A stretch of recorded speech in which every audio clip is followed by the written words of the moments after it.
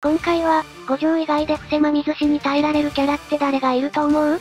?1、大当たり測りオート反転2、呪力量パナイ乙骨呪力切れが怖い3、巻、板取り反転ないけど耐久力と堅牢性のゴリラパワーで耐え切る。くらいかなと思うんだけど。板取りは無理やろ出力型落ちの斬撃でかなりボロボロなってたぞ。石氷以下の出力、耐久のやつは一瞬で輪切りにされるから耐えられません。少なくとも最低反転持ってないと土俵にすら上がれないと思われ。巻きと板取りは無理そう乙骨は20秒くらいならいけそう。巻きが受けるのは別じゃなく多分解の方かな。一番有利なのは計りだろうな乙骨は一発目は耐えきれても次からは呪力切れでミンチになりそう板取りと巻きは領域から離脱することで逃げ切れるかな。高場とミゲルならいけるやれ。ミゲルは反転使えれば縄駆使して耐えられるかも。別は敵の呪力量に合わせて放たれるつまり呪力量が多くて出力そこそこの乙骨はめちゃくちゃ相性悪い板取りは呪力低めで肉体強度特化だから相性は良い。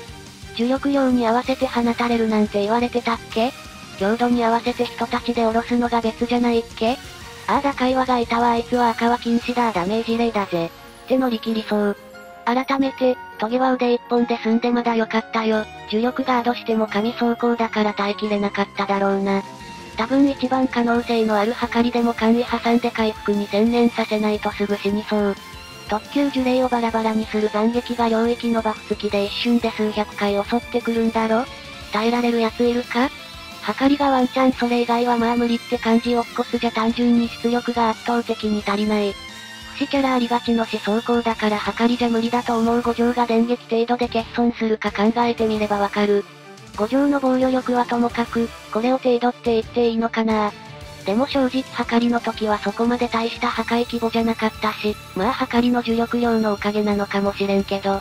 反転でどうにかなるのも五条みたいに薄皮切れる程度で済む耐久ありきだよなと輪切りにされたら反転あっても無理。まず最低限一撃で両断されない強度ナンバーと耐久力を求められるのひどすぎん。頭レンチンされても即回復するから大当たり計りならなんとかしのげるかな乙骨はみ寿司の効果時間の長さによっては呪力切れで先にダウンしそう。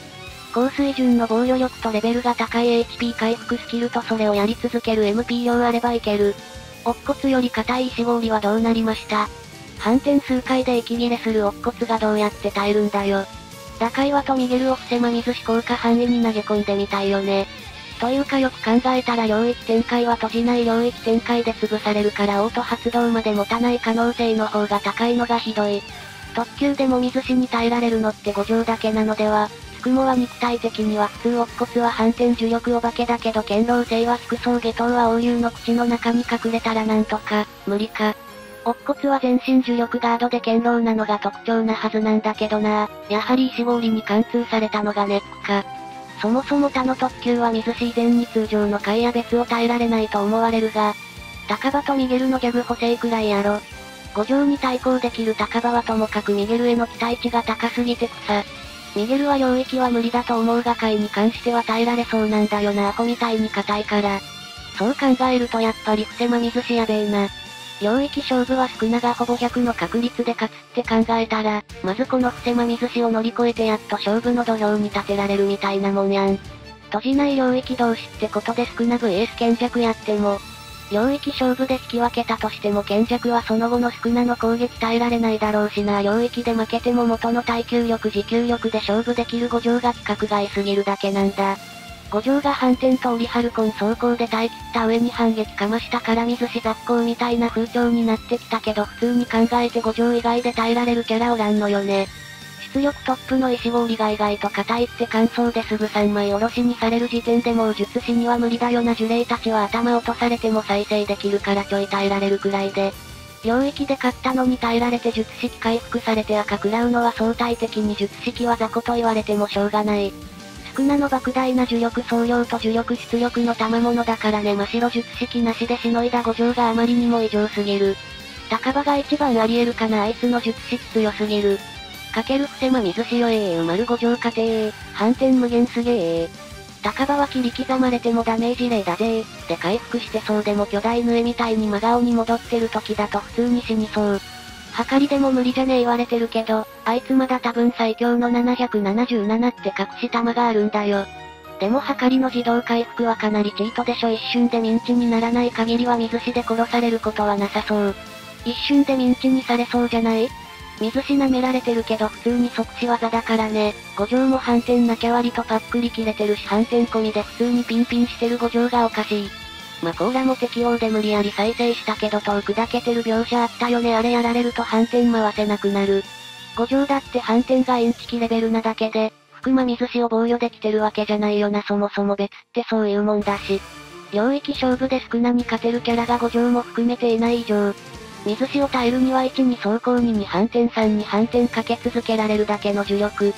最低でもこの3つは満たしてないとダメなんだよな1の時点で5条以外に満たせるキャラがいなさそうなのが積んでる。1、走行で生き残りそうなキャライコール呪力ガード乙骨はかり、ゴリライタドリ巻き逃げる、チート芸人に。反転で回復できるのがはかり乙骨さんで呪力量時間限定無制限ってハードルがあるから。大当たりはかりと打開はくらいしか無理じゃね？っ